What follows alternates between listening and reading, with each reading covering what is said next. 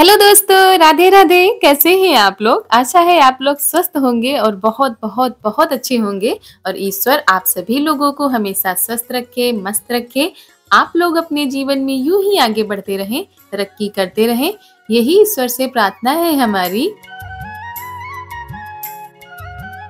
तो हो गई है सुबह की शुरुआत। आप सभी लोगों को मेरा प्यार भरा गुड मॉर्निंग, सुप्रभात और सुबह की शुरुआत हो रही है। खाना बनाने के साथ तो सुबह के जितने भी काम थे वो तो हो गए हैं, नहाकर हम आ भी गए हैं, सब लोगों ने चाय भी पी ली है उसके बाद हम लग गए हैं खाना बनाने में और आज खाने में बन रही है कुंदरू की सब्ज़ी और कुछ दिन पहले हमने भरवा कुंदरू बनाई थी तो आज मन था काट के बनाने का और काट कट कुंदरू की सब्ज़ी बनाओ ना तो बहुत ही स्वादिष्ट बनती है। तो यहाँ पर हम जो है सब्ज़ी बना लेते हैं और ये सब्ज़ी ना थोड़ी देर पकानी पड़ती है, ज़्यादा देर चलानी पड़ती है।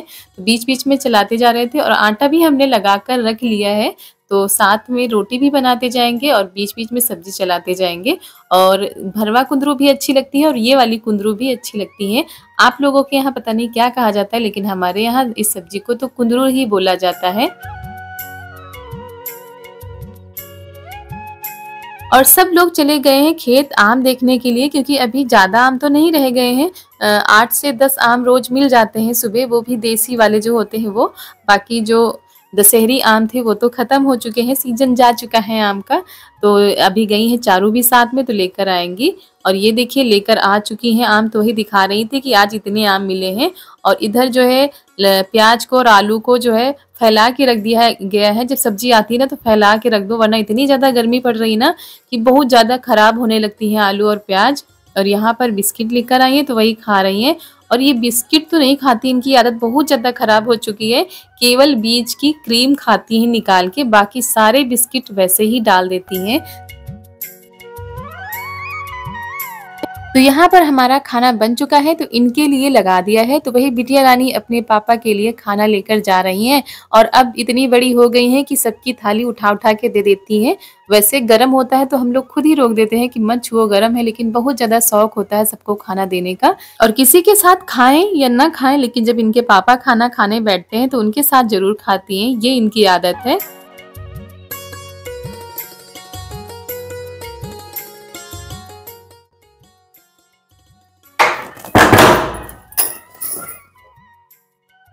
तो दोस्तों पाँच बज गए हैं। अभी तो हमारे काम खत्म ही हुए हैं। फिर से हम करने जा रहे हैं अपनी रसोई की सजावट। कुछ करेंगे चल के कुछ क्या बहुत कुछ करना है क्योंकि अभी सामान पूरा सेट करना है। और अभी इतनी ज़्यादा हाँ आसी वाला। आसी खा रही है खाना। कुछ नहीं लेकर आई है न चावल लेकर आई नमक लेकर आई है। इनको यही चला दाल रखी लेकिन दाल खाएँगी नहीं। क्यों दाल नहीं खाती हो? है? तो चलिए चलते हैं ऊपर क्योंकि बहुत ज़्यादा गर्मी है इतनी ज़्यादा गर्मी है। कि थोड़ी देर खड़े रहो तो पसीना आ रहा है। ऊपर चलते हैं, शायद हवा चल रही होगी। चलो। और ये भुट्टे जो है धूप में डाले गए थे आज और ये खेत से आए हैं क्योंकि ये पशुओं ने तोड़े हैं, बहुत ज़्यादा बर्बाद कर दिया है। पूरे खेत में तबाही मचा के रख दी है। तो इस समय पशुओं ने बहुत ज़्यादा परेशान करके रखा है और यहाँ पर हम लोग चल रहे हैं छत पर और आज अच्छी बात यह है कि गर्मी तो बहुत ज़्यादा है, भीषण गर्मी कह सकते हैं जिसको, भयंकर वाली गर्मी। लेकिन हल्की सी बदली अभी आई है, दिखी है। पता नहीं पानी बरसेगा कि नहीं, केवल बदली ही छाई हुई है।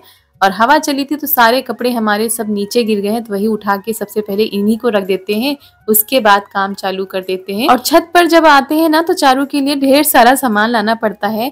पीने के लिए पानी, खाने के लिए कुछ होना चाहिए, और दूध की बोतल और खिलौने कुछ खेलने के लिए तो इतना सारा सामान हम लेकर आते हैं। और उसके बाद हम लग गए हैं चार्ट में डिज़ाइन बनाने के लिए। तो जैसे भी आ रही थी वैसे काट रहे थे और ये चार्ट मोटे होते हैं ना तो कैंची से इतनी जल्दी कटते भी नहीं है तो बहुत ज़्यादा दिक्कत आ रही थी। तो यहाँ पर जैसे मन चाह रहे थे वैसे डिज़ाइन काट रहे थे, वैसे ज़्यादा अच्छी हमको काटनी नहीं आती है। और जब समय होता है तब सब चीज़ करने में भी मन लगता है, ऐसे तो होता है जल्दी से हमारे काम हो जाए, क्योंकि शाम हुई जा रही है। तो जल्दी जल्दी में सारे काम होते हैं और फुर्सत मिलती है तो आराम से बैठ कर करें चाहे जैसे मन चाहे तो दोस्तों हमारे सारे चार्ट जो है कट चुके हैं। जैसी आई वैसी डिज़ाइन काट दी ज़्यादा हमको अच्छी तो काटने आती नहीं फ़ोन नहीं देखो फ़ोन नहीं देखते अच्छे बच्चे। और यहाँ पर हमने इतने सारे चार्ट जो है काट लिए हैं। तो इनको बिछा देते हैं और सामान हमारा सब साफ़ रखा हुआ है, केवल सेट करना है। तो सारी चीज़ों को फिर से उतार कर रख दिया है नीचे और पेपर बिछा दिए उसके बाद सारे बर्तन को जितने भी डिब्बे वगैरह हैं सब लगा देंगे। ज़्यादा सामान तो ऊपर नहीं रहता है, क्योंकि जब खाना लगातार बनता है तब तो सारा सामान ऊपर आता है, नहीं तो फिर नीचे चला जाता है। और अभी हम क्या करेंगे कि ऊपर का सामान ऊपर रहेगा और नीचे का सामान नीचे रहेगा, क्योंकि बार बार लाना पड़ता है तो बहुत ज़्यादा दिक्कत पड़ जाती है। तो यहाँ पर सामान को सेट कर दिया है। तो इतना सामान अब ऊपर छत पर ही रहेगा। तो यहाँ पर सामान सेट करते जा रहे थे, जैसे समझ में आ रहा था वैसे करते जा रहे थे और नीचे वाली अलमारी रह गई है। ऊपर वाली तो हमारी सेट हो चुकी है, सामान लग चुका है। नीचे वाली अलमारी में भी पेपर बिछा देते हैं और उसके ऊपर भी सामान लगा देते हैं। तो हमारी रसोई जो है पूरी तैयार हो चुकी है। और दोस्तों, हमने किचन तो सेट कर दिया था, क्योंकि इतने दिनों से खाना नहीं बना तो सामान अस्त व्यस्त हो गया था, ढूंढ कर लाए साफ़ किया, उसके बाद सेट कर दिया है। और जो खाना बनाने का सामान है, वो अभी हमको ऊपर लाना पड़ेगा, डिब्बों में भरना पड़ेगा। तो जैसे समझ में आया वैसे सेट कर दिया है। और देख कर बताइएगा कमेंट करिएगा कि कैसा किचन हमारा लग रहा है। और सामान थोड़ी कम है, लेकिन जैसे जैसे खाना बनाएँगे ऊपर, वैसे वैसे सामान हम भरते जाएँगे। तो चलिए, अब अपनी रसोई में कुछ डिज़ाइन बना लेते हैं। अपनी रसोई को थोड़ा सा नया लुक देते हैं। यहाँ पे ये बेल बनाई है और इसका एक फूल यहाँ पर भी बना लेते हैं। तो इसको फिर कलर कर देंगे तो अच्छा लगेगा देखने में। तो चलिए बनाते हैं फिर।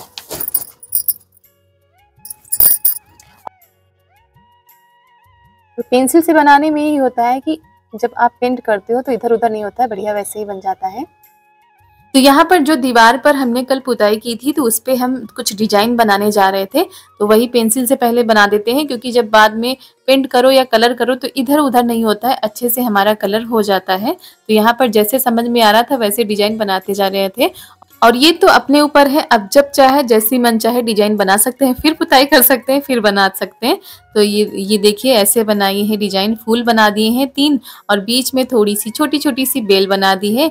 और ये कटोरी ने बड़ा साथ दिया हमारा जब हम ऊपर डिज़ाइन बना रहे थे ना तो लाइनें बराबर नहीं आ रही थी तब हमने कटोरी का इस्तेमाल किया तो है। दोस्तों डिज़ाइन तो हमने पेंसिल से बना दी है उसके बाद कलर लिए हैं ये डिब्बी वाले कलर थे वही ले लिए हैं पूरा पूरी एक डिब्बी आ गई है लाल कलर की तो उसी से डिज़ाइन बनाते हैं। और ये ब्रश घर पे बनाई है, ये देखिए। और हमारी एक बहन का कल कमेंट आया था कि कल के वाले वीडियो में, लिपाई पुताई में, कि आप अपनी बहन की नकल क्यों करती हैं? उन्होंने लिपाई पुताई की है, अपने किचन के सजाया है तो आप भी वैसा क्यों कर रही हैं? तो ऐसा कुछ भी नहीं है।